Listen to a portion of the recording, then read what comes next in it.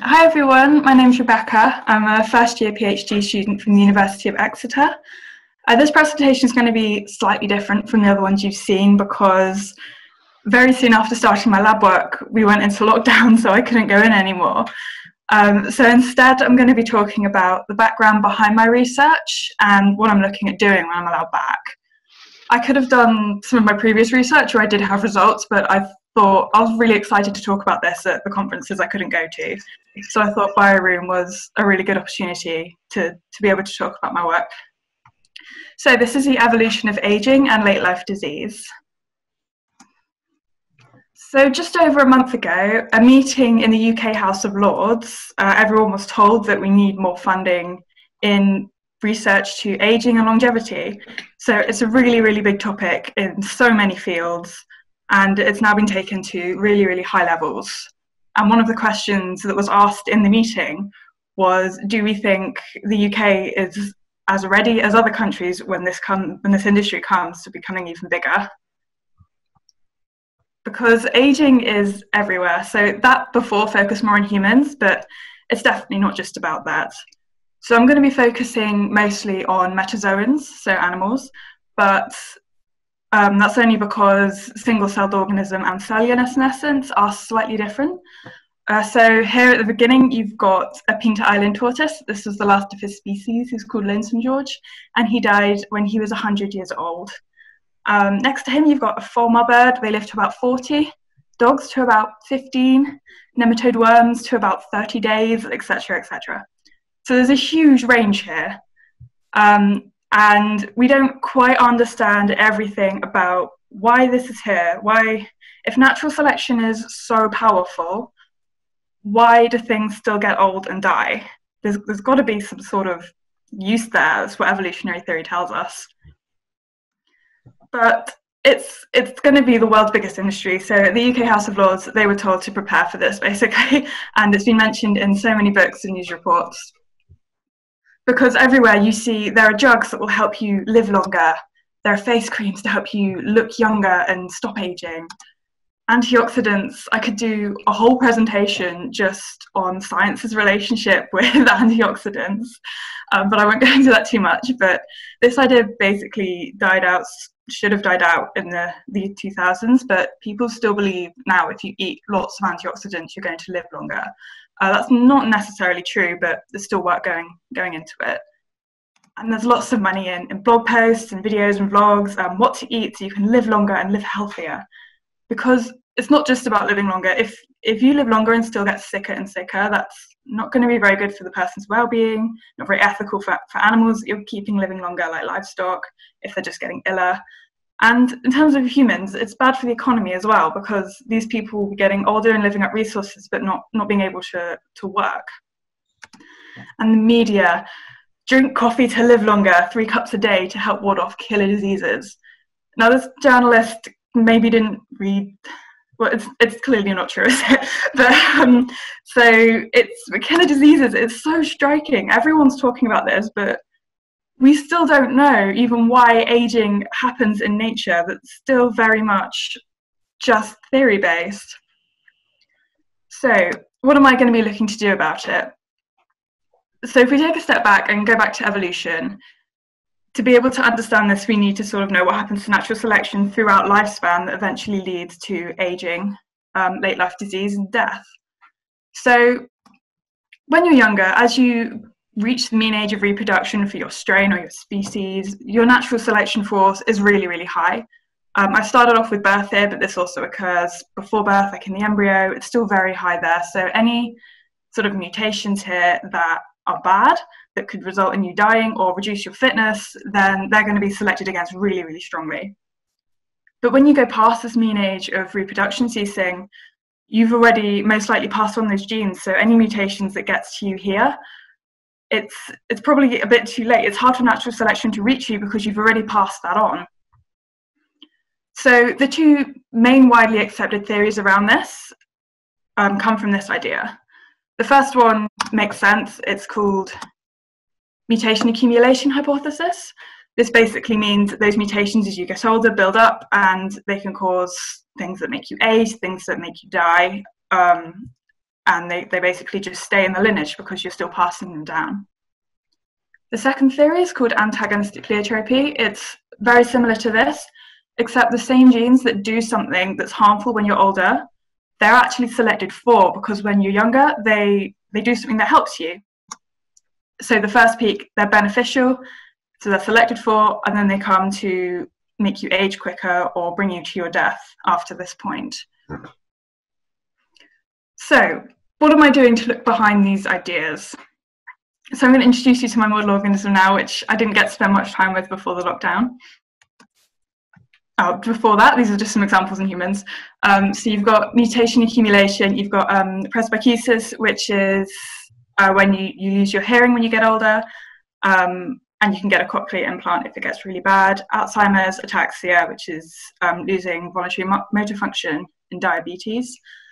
Um, and antagonistic pleiotropy, you've got all these examples that happens in humans. So these theories are likely to occur in different types of aging, in different species, in different amounts.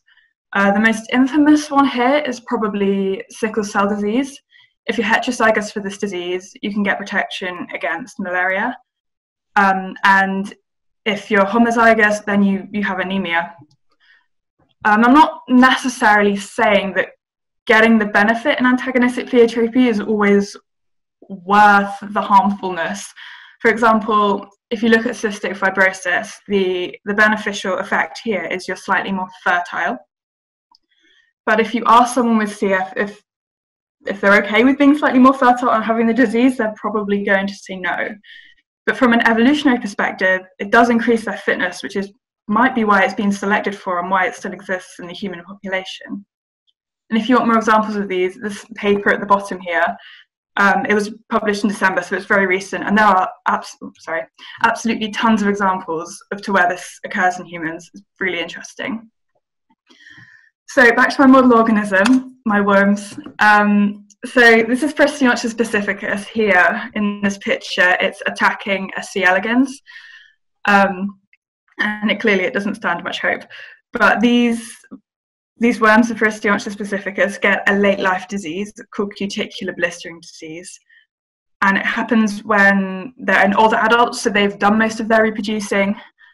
And there's also natural variation for this. So some strains do have it and some don't. And we don't know about the genetic basis for this yet. It hasn't even been that well characterized. My PI reported it in the literature for the first time within the first five years in the species, so it's all quite new.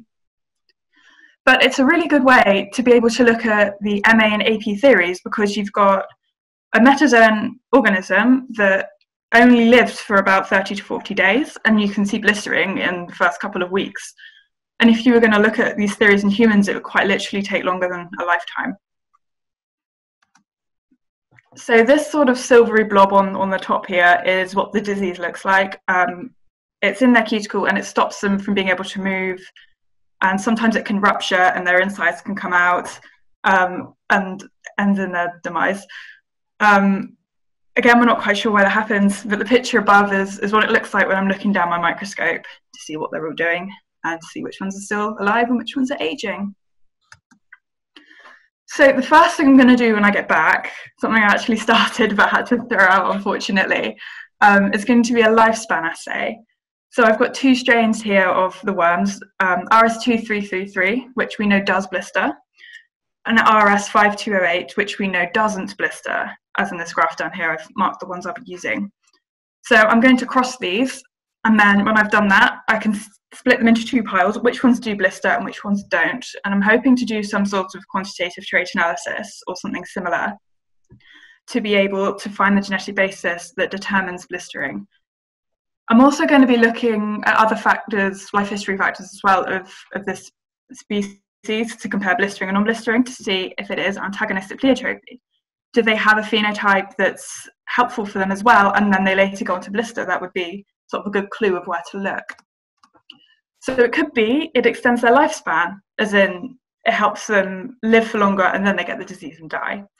But I'm not sure if it is that one because previous work has shown that these two strains live for a very similar length of time. But I'm going to check it out anyway, just in case. Um, for fecundity, this is a very simple increase in fitness. They have more babies, they're going to be fitter. It's going to be more useful. Also, body size may be one, or something completely different that I haven't even considered that could be useful. So it's going to be a lot of um, observations alongside actually recording these as well. Also, I'm going to be looking at dietary restriction. This is a really interesting topic in aging and health span studies. It's been looked at in, in, lots of different species. It basically means restricting the calorific intake at different points during their life actually makes um, animals live longer. A lot of people think this is true in humans as well, and there is some research to suggest it could be true, but um, we're definitely not 100% sure yet. But I'm going to try this on my worms. I'm going to restrict their um, E. intake at different stages in their life, just using the same lifespan assay to see if it affects whether they blister or not, or how long they live. And also if it affects the two strains differently, because that could show something too. Also pharmaceuticals. I've already mentioned antioxidants, but this is very much going to depend on what's available to me at, when I get to doing this. Um, so I can hit them with loads of antibiotics at different times to see if this affects their health span or lifespan.